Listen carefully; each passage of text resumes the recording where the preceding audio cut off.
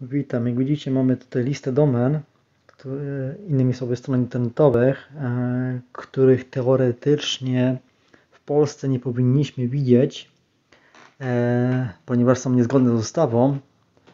E, no i zobaczmy, jak to wygląda. Ta lista domen jest całkiem zacna.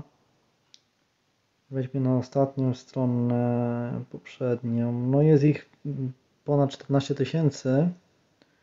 No i wejdźmy na jakąś stronę, na przykład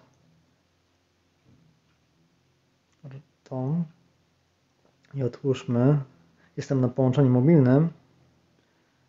No i przekierowuje mnie na finanse mf.gov.pl i tutaj informacja, że strona internetowa, z której podjęto próbę połączenia jest wykorzystywana do nielegalnego oferowania gier hazardowych. Nielegalnego oczywiście w kontekście polskiego prawa, to nie będziemy wchodzić w politykę, ale w technikalia, jak to jest zrobione? Otóż standardowi mm, dostawcy tych książek telefonicznych, czyli serwerów DNS, w tym wypadku jest to, y, są to DNS-y plusa, e, no, muszą, muszą jakby e, uwzględnić tą listę na swoich serwerach DNS no i, i, i przekierowują na taki komunikat. Natomiast y, w jaki sposób można to w sumie całkiem legalnie obejść? Mm, wystarczy zmienić tak naprawdę serwer DNS. Mm, jak to zrobić? Wystarczy, jestem tutaj na Androidzie, na Androidzie 11, ale tak naprawdę mm, ten, te aplikacje zadziałają zapewne na Androidzie 6 albo i starszych. Wystarczy zainstalować jakiś, jakąś aplikację typu DNS Changer. Ta aplikacja służy do podmiany DNS-ów, czyli książki adresowej, internetowej, mówiąc tak trywialnie.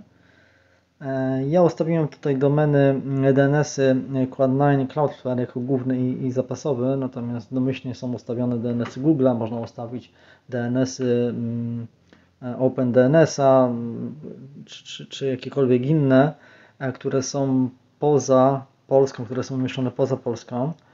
I teraz ja wystartowałem, to znaczy zmieniłem już, już e, status, już mam te DNS aktywne. W tym momencie DNS-y mojego operatora przestają działać.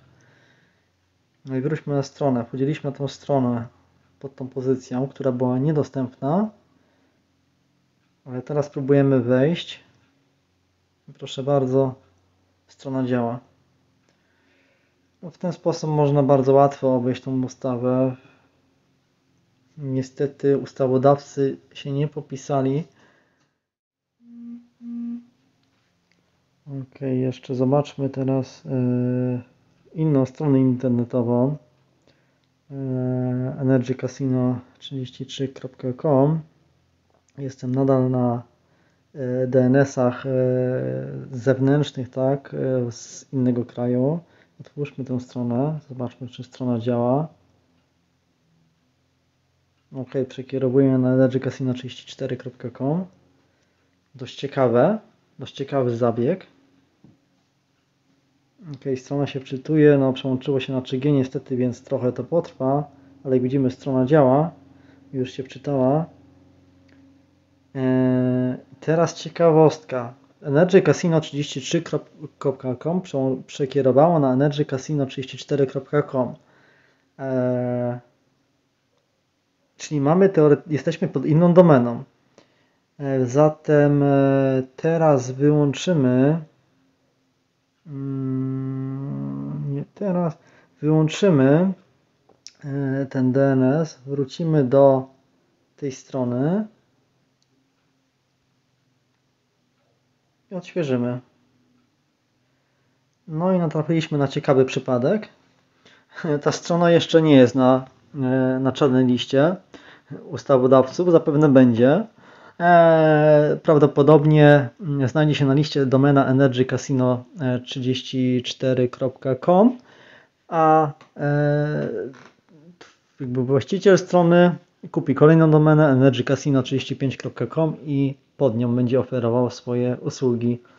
No tak więc można powiedzieć, zauważyliśmy, natrafiliśmy na, na przykład zabawy w kotka i myszkę. Ale yy, przejdźmy jeszcze do. Zobaczmy jeszcze jakąś inną stronę. Mam aktualnie wyłączone zewnętrzne DNS-y, czyli mam DNS-y operatora. betasave65.com W tym momencie nie powinniśmy zauważyć żadnej strony. Tak, widzimy komunikat.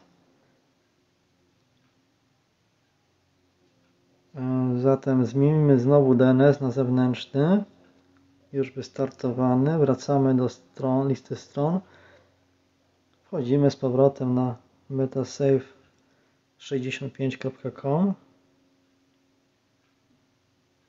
O i widzimy kolejny ciekawy przypadek.